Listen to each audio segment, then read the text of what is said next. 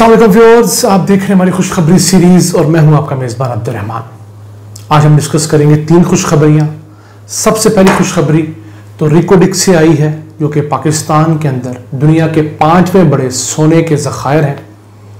उस सिलसिले में ब्रिटिश वर्जन आइलैंड की जो हाई कोर्ट ने पाकिस्तान को रिलीफ दिया है और जो छः अरब डॉलर का पाकिस्तान में जुर्माना था, उसको रिकवर करने के लिए जो पीआईए के असासे मुंजमद कर दिए गए थे, उनको रिलीव कर दिया गया है। इस मुतल डिटेल में जानेंगे।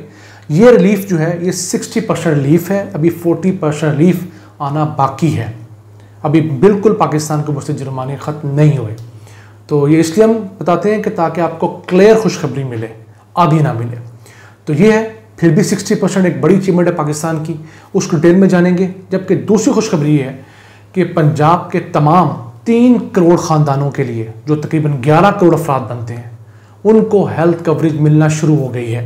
और इब्तदाई तौर पर फ़ेज़ वन में पूरे डेरा गाजी खान डिवीज़न और साहिवाल डिवीज़न को आज प्राइम मिनिस्टर ने हेल्थ कवरेज दे दी है। यानी कि हर ख़ानदान बीमार होने की सूरत में सात लाख बीस हज़ार रुपये तक का फ्री इलाज करवा सकता है। और इसको आप किस तरह जान सकते हैं? ये दो डिवीज़न है जिसके अंदर सात अजला आते हैं।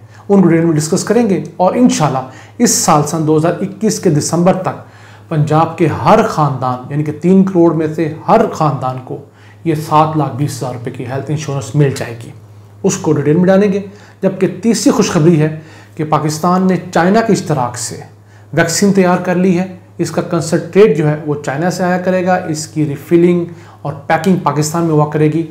और हर माह तकरीबन तीस लाख वैक्सीन पाकिस्तान में बना पाएँगे। उस मुतालिक तफसीत हम जानेंगे। आइए चलते हैं आज की पहली खुशखबरी की तरफ़। रिकोडिक, जो कि 1200 अरब डॉलर्स के सोने और तांबे के ज़खायर हैं, जिन्हें हमारे करप्ट हुक्मरानों ने और ब्यूरोक्रेट से मिलकर एक अरब रुपया रिश्वत लेकर बेच दिया था और जिस शख्स ने इसको बेचा था, उसका नाम था अता मोहम्मद जाफ़र।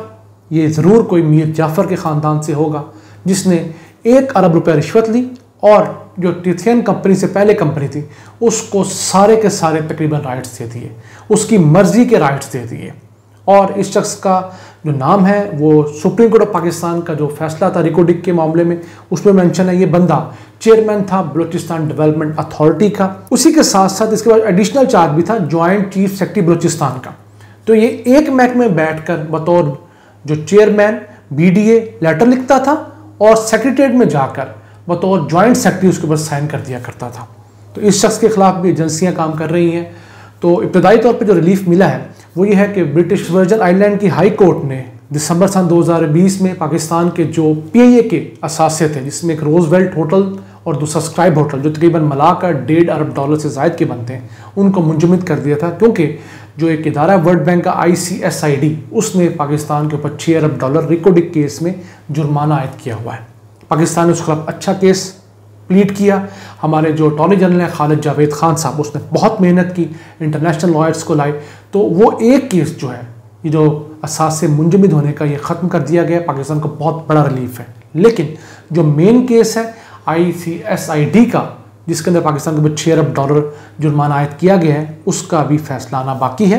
पाकिस्तान ने पहले फैसले के खिलाफ अपील की हुई है। उस सिलसिले में हुकूमत ये कर रही है कि जिन मीर जाफरों ने, जैसे अता मोहम्मद जाफ़र और दूसरे लोग जो हैं जिन्होंने करप्शन करके ये गलत एग्रीमेंट किए थे, उनको गिरफ़्तार करके, उनको वादा माफ़ गवाह बनाए, उनको पेश किया जाए उस अदालत में जो वर्ल्ड बैंक की अदालत है, और वहाँ पर यह प्रूफ किया जाए कि जनाब, ये देखिए, रिश्वतें देकर इन कंपनियों ने हमसे गलत जो है वो साइन करवाए हैं। उसके बाद पाकिस्तान को इस सिलसिले में बड़ी जो है वो फतह हासिल हो सकती है।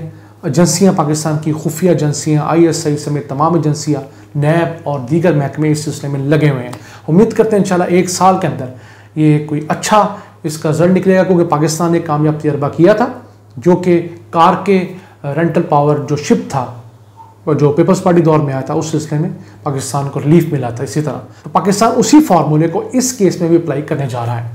इसी के साथ चलते हैं आज की दूसरी खुशखबरी की तरफ़, जो बहुत अहम है, कि खैर पख्तूनख्वा की तमाम आबादी को फ्री हेल्थ कवरेज मिल चुकी है, और वो किसी सूरत में बीमार हो और हस्पताल एडमिट हो, या ऑपरेट करवाना पड़े तो उनको 10 लाख रुपए फ़ी ख़ानदान सालाना हुकूमत खैर पख्तूनख्वा अफोर्ड करती है। ये बहुत बड़ी चेंज आ रही है खैर पख्तूनख्वा के अंदर। वही चीज़ अब पंजाब में भी इम्प्लीमेंट होना शुरू हो गई है। पंजाब के अंदर इब्तदाई तौर पर दो डिविजन्स को ये दे दिए गए हैं आज। इसमें आपका शनाख्ती कार्ड ही आपका हेल्थ कार्ड होगा। अपना शनाख्ती कार्ड का नंबर आप एट फाइव डबल ज़ीरो पर एस एम एस कीजिए। आपको रिप्लाई आएगा कि आप और आपके ख़ानदान के कितने अफराद जो हैं। वो सात लाख बीस हज़ार रुपये सालाना हेल्थ कवरेज के मुस्तक हैं। याद रहे कि नज़ला ज़ुकाम गले ख़राब होने की सूरत नहीं है। किसी ऐसी बीमारी में जिसको आपको हस्पताल दाखिल होना पड़े या आपका ऑपरेट तो कहा जाए दिल के अमराज हैं कैंसर हैं, गुर्दों के अमराज हैं, बच्चों की पैदाइश है, उन तमाम सिलसिलों में आपको सात लाख बीस हज़ार रुपये हेल्थ कवरेज मिलेगी। जिन दो डिविजन्स के रहायशियों को ये सहूलत दी गई है, यानी कि जिनके शनाख्ती कार्ड के ऊपर मुस्तकिल पता डीजी खान डिवीज़न का है या उसके अलावा साइवल डिवीज़न का है तो उनको ये हेल्थ फैसिलिटी आज दे दी गई है। डीजी खान के अंदर डीजी खान ज़िला है, उसके अलावा लिया ज़िला, मुजफ्फरगढ़ ज़िला और राजनपुर ज़िला।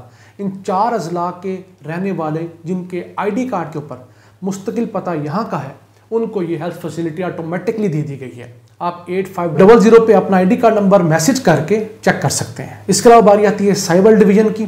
उसके जो तीन अजला हैं, साहिवाल, पाकपतन और काड़ा इनके रहने वाले तमाम लोग जिनके पास शनाख्ती कार्ड इन अजला का है, वो भी एट फाइव डबल ज़ीरो पर मैसेज करके अपनी वेरिफिकेशन करवा सकते हैं।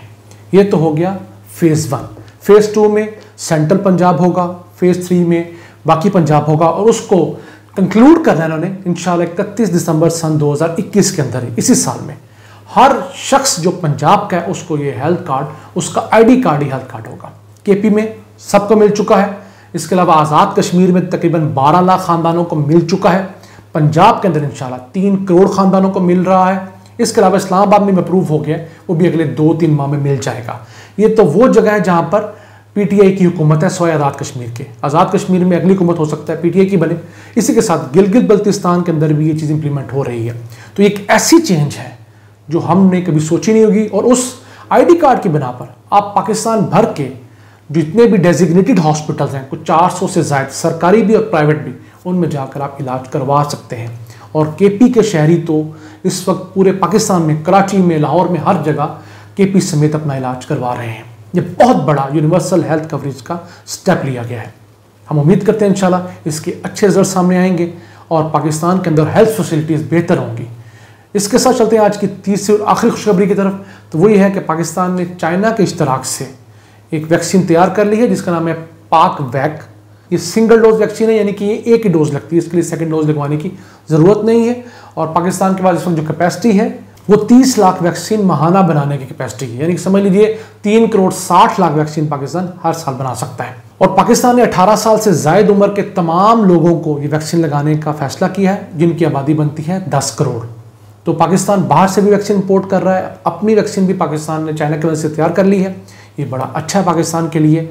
और इस सिलसिले में अगर देखा जाए तो हुकूमत ने जितनी भी वैक्सीन अब तक मंगवाई है, उसमें से इक्यानवे फ़ीसद वैक्सीन जो है, वो पैसे खर्च करके पेमेंट करके मंगवाई गई है, जबकि नौ फ़ीसद जो है, वो चाइना ने हमें गिफ्ट की है, ये कोवैक्स की तरफ़ से आई है।